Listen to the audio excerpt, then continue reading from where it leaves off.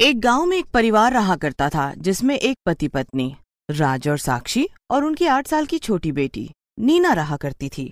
राज और साक्षी दोनों रजाई बनाने का काम करा करते थे और उसे पैसे कमाकर अपना घर चलाते थे। राज और साक्षी की बनाई हुई रजाई पूरे गाँव में प्रसिद्ध थी और सब लोग उनकी कलाकारी की बहुत प्रशंसा करते थे। एक गाँव में एक ऋषि बाबा अपनी भिक्षा मांगने आए थे। बेटा, मैं एक ऋषि मुनि हूँ। कृपया मुझे कुछ खाने को दे दो। ऋषि मुनि की बात सुनकर राज और साक्षी दोनों उनके लिए खाना लेकर बाहर आ जाते हैं। हे ऋषि मुनि हम आपके लिए खाना लेके आए हैं। कृपया हमारी सेवा स्वीकार कीजिए। हे ऋषि मुनि आप रात को कहाँ रुकेंगे? बेटा मैं यहाँ तपस्या करने आया हूँ। इसीलिए किसी शांत जगह को ढूंढ रहा हूँ। राज ने देखा इतनी ठंड में ऋषि मुनि के पास ओढ़ने के लिए न तो कोई चादर थी और न ही कंबल। हे ऋषि मुनि इतनी ठंड में आप कैसे रहेंगे? हम आपको एक रजाई भेंट देना चाहते हैं। इससे आपको ठंड नहीं लगेगी। ऋषि मुनि राज और साक्षी की भेंट से बहुत खुश हो जाते हैं और उन दोनों को एक वरदान देते हैं। मैं तुम दोनों को एक वरदान देता हूँ। तुम्हारी बनाई हर रजाई में एक जादुई गर्माहट होगी। उसमें प्यार की गर्माहट होगी। चाहे कोई इतना ही बुरा इंसान होगा वो इस रजाई को ओढ़कर प्यार महसूस करेगा और वो एक अच्छा इंसान बन जाएगा। हे ऋषि मुनि आपका बहुत बहुत शुक्रिया। इतना कहकर ऋषि मुनि अपनी तपस्या के लिए निकल जाते हैं। इस वरदान के बाद राज और साक्षी के बनाए गए रजाई की प्रसिद्धता और बढ़ जाती है और उनकी बिक्री भी खूब हो जाती है। एक दिन साक्षी के साथ अनहोनी हो जाती है। साक्षी जब रजाई के लिए रुई लेकर घर वापस आ रही होती है, तभी उसकी बैलगाड़ी लड़खड़ाने की वजह से खाई में गिर जाती है और उसकी वजह से उसकी मौत हो जाती है। पूरी रात गुजर जाती है, पर राज को साक्षी के बारे में पता नहीं लग पाता। राज आधी रात को ही साक्षी को ढूँढने चला जाता है। अरे राज भाई, क्या हुआ? किसे ढूंढ रहे हो? कौन खो गया? इतना वक्त हो गया और साक्षी घर वापस नहीं आई। अरे तो अकेले क्यों ढूंढ रहे हो? मैं भी मदद कर देता हूँ। गाँव वाले थोड़ा आगे जाकर देखते हैं। खाई में कोई औरत गिरी पड़ी है। गाँव वाले जल्दी से राज को खबर देने जाते हैं। राज जैसे ही साक्षी को देखता है, वो बहुत रोता है। राज साक्षी के बिना बहुत कमज़ोर पड़ जाता है, जिसकी वजह से वो काम पर भी ध्यान नहीं दे पाता। एक दिन राज की बेटी नीना रोती हुई स्कूल से वापस आती है। पापा स्कूल में मैडम ने सबके सामने बहुत डांटा। क्यों बेटा? तुमने कोई गलती करी थी क्या? नहीं पापा स्कूल की फ़ीस तीन महीने से नहीं दी इसीलिए मैडम ने बोला कि अगर अगले महीने तक फ़ीस नहीं भरी तो स्कूल से निकाल देंगे। राज ये सुनकर बहुत दुखी हो जाता है। कोई बात नहीं नीना बेटा हम तुम्हारी फ़ीस भर देंगे। तुम बेफिक्र होकर स्कूल जाओ। अब मुझे साक्षी को भूलना होगा। मेरे ऊपर मेरी बेटी की ज़िम्मेदारी है और मुझे उसका भविष्य बनाना है। मैं अब बहुत मेहनत करूँगा और नीना को किसी भी चीज़ की कमी नहीं होने दूँगा। राज जी जान से एक महीने तक काम करता है और नीना की फ़ीस भर देता है। वो धीरे धीरे साक्षी को भुला देता है और ज़िंदगी में आगे बढ़ जाता है। जब नीना थोड़ी बड़ी हो जाती है तो वो भी अपने पापा के साथ रजाइयाँ बनाने में मदद करने लगती है। एक दिन राज के पास एक परी गरीब औरत के रूप में उससे मिलने आती है। राज वो जादुई रजाई बनाने वाले तुम ही हो ना? जी मैडम वो मैं ही हूँ। तुम बताइए आपकी क्या सेवा कर सकते हैं? मेरे घर में बच्चे ठंड की वजह से बीमार रहते हैं और मैं चाहती हूँ कि तुम उन सबके लिए रजाइयाँ बनाओ जिससे उन्हें ठंड ना लगे। राज उसकी बात सुनकर बहुत भावुक हो जाता है और रजाइयाँ बनाने के लिए राज़ी हो जाता है। दो दिन बाद फिर परी राज से मिलने आती है। राज क्या मेरे बच्चों के लिए रजाइयाँ तैयार है? अरे हाँ हाँ। अब उनको ठंड नहीं लगेगी।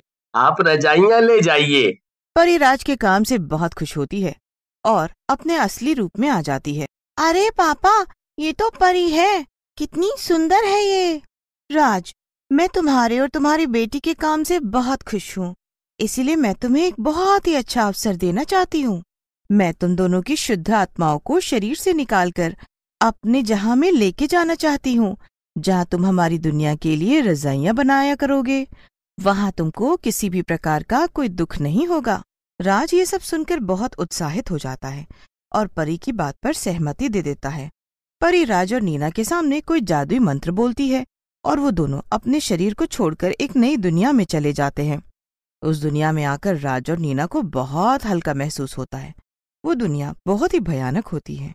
वहाँ हर जगह से डरावनी आवाज़ें आ रही होती हैं। वो दुनिया बहुत ही रहस्यमयी होती है। पापा मुझे बहुत डर लग रहा है। मुझे तो वो परी भी यहाँ दिखाई नहीं दे रही है। उस परी ने हमें झांसा दिया है।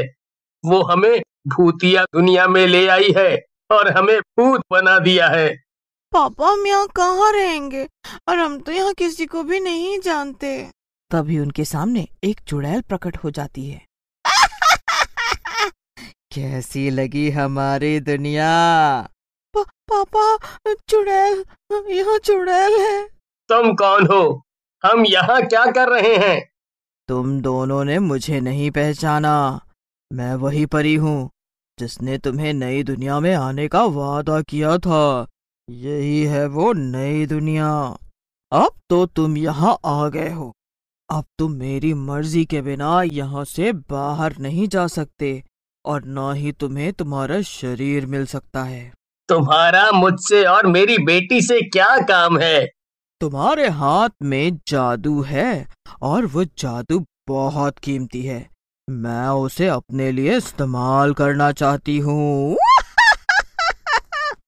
इतना कहने के बाद चुड़ैल राज और नीना को भूत बनाकर अपने पास बंदी बना लेती है।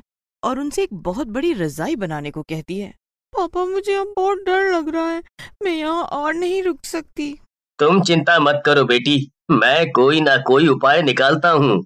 राज और नीना के साथ वहाँ एक और कैदी भूत था जो चुड़ैल के लिए खाना बनाया करता था। उसका नाम लक्ष्य होता है। क्या चुड़ैल ने तुम्हें भी बंदी बनाया है?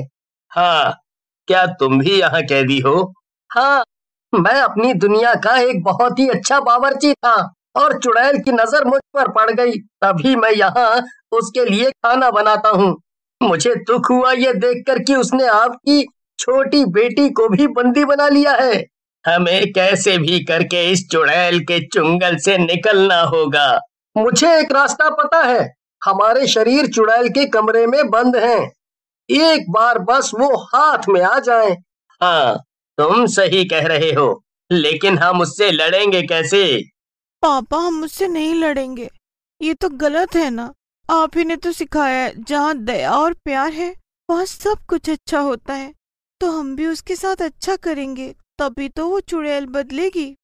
तब से रात चुड़ैल के लिए जादुई रजाई बनाना शुरू कर देता है। कुछ दिनों बाद वो जादुई रजाई पूरी बन जाती है और वो उस चुड़ैल को भेंट में देने के लिए जाते हैं। अरे वाह! बन गई मेरी रजाई। हम्म चुड़ैल जैसे ही उस जादुई रजाई को उड़ती है तो उसकी नरमी से रोने लगती है। इस रजाई ने मुझे मेरे बच्चों की याद दिला दी। मैं जब ज़िंदा थी तो बहुत गरीब थी, और मेरे दो बच्चे भी थे। मेरे पास ओढ़ने के लिए सिर्फ़ एक चादर थी, और ठंड से मेरे बच्चों को बहुत ठंड लगती थी। एक तो भूख ऊपर से ठंड, जिसकी वजह से मेरे बच्चे बीमारी से मर गए चुड़ैल को अपने बुरे कर्मों का एहसास होने लगा था और उसे बाकी सब पर भी तरस आने लगा था। चुड़ैल सबको उसका शरीर वापस कर देती है और उन्हें वापस अपनी दुनिया में भेज देती है। इस अच्छे काम की वजह से वो मुक्त हो जाती है। उस दिन के बाद से राज और नीना गाँव के सभी गरीब और बेघर लोगों के लिए रजाइयाँ बनाया करते थे और उन्हें मुफ़्त में भेंट कर दिया करते थे।